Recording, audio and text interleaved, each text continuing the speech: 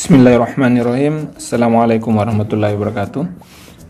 Uh, Pada video ini saya akan menjelaskan pertanyaan dari seorang teman.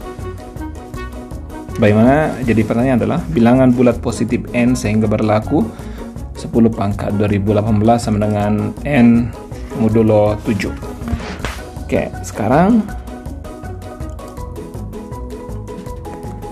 um, sekarang yang perlu kita lakukan adalah kita harus mengetahui dulu bahwa uh, sebuah sifat dari um, bilangan modul modulo jadi uh, misalnya saja 7 itu tidak lain adalah um, 7 misalnya modulo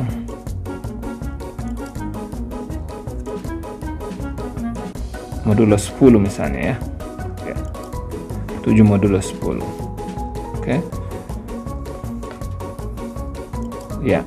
Uh, sekarang kalau misalnya kita melihat soal ini jadi uh, saya tuliskan ulang 10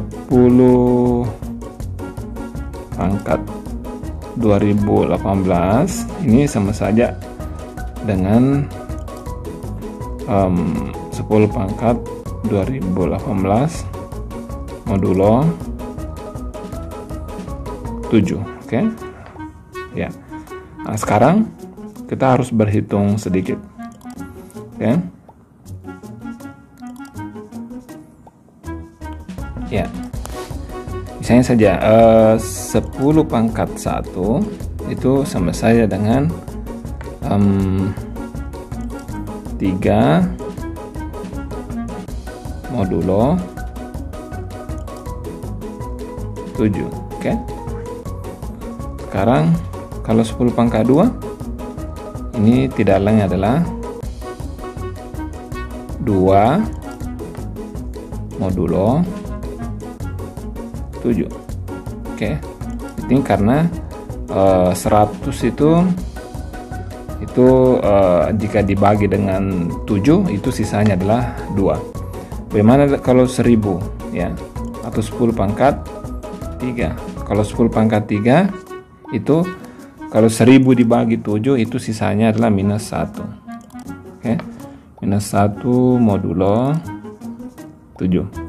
Sehingga ini yang paling Oke, sehingga jawaban yang paling terakhir ini ini yang uh, mudah, uh, bagus sekali untuk kita jadikan sebagai patokan. Kenapa? Karena kalau minus satu pangkat berapapun itu gampang. Kalau minus satu pangkat e, genap, misalnya dua, empat itu pasti hasilnya satu. Kalau ganjil pasti hasilnya adalah misalnya pangkat tiga hasilnya adalah minus satu. Jadi kalau genap dia satu, kalau ganjil ya adalah minus satu. Ini yang paling bagus. Sekarang kita hitung dulu ya. Jadi kalau misalnya um, ya eh, 10 pangkat 2018 itu ya ini um, kita harus mencari eh, uh, 10 pangkat berapa kali 3 ditambah berapa oke okay? jadi ini modulo 3 sisanya berapa ya jadi setelah kita hitung-hitung ternyata ini di sini uh, itu tidak lain adalah 672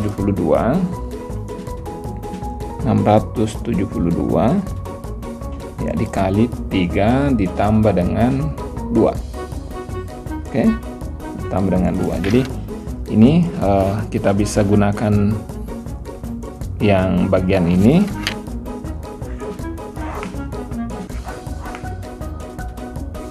Jadi kita bisa gunakan ini untuk mencari nilai dari um, soal ini ya untuk menyelesaikan soal ini.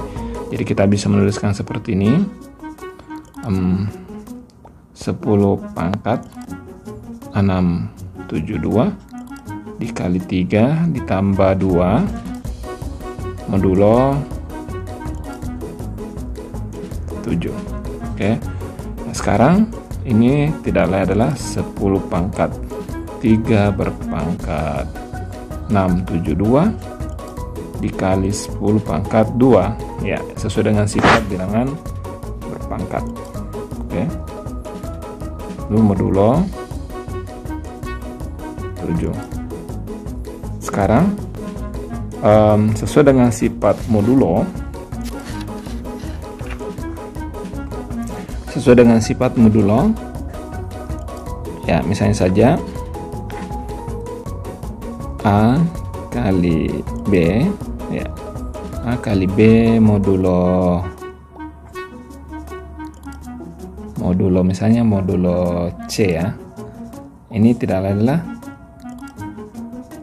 A modulo C. Oke dikali dengan B modulo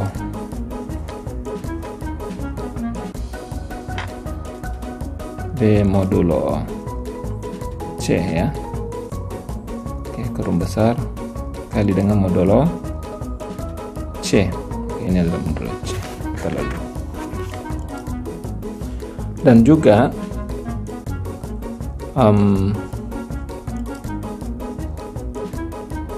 ya um, misalnya saja uh, D berpangkat misalnya E okay. modulo C itu tidak lain adalah D modulo C ya, berpangkat E okay.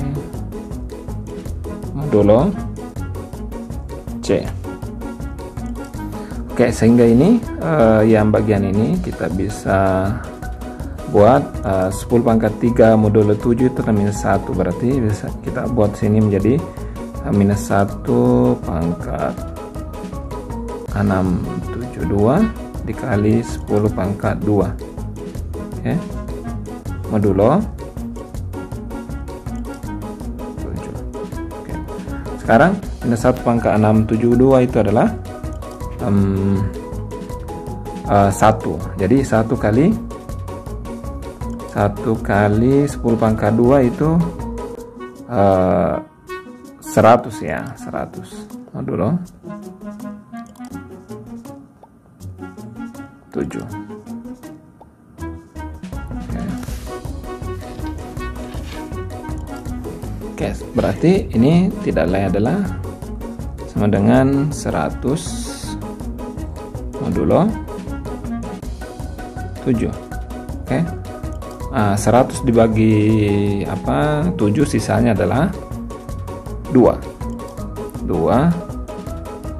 modulo 7 nah, berarti nah, sesuai dengan soalnya yang di atas ya. N nya berapa? Ini adalah n. Oke jadi n nya sama dengan n. N ya bulat yang paling kecil adalah 2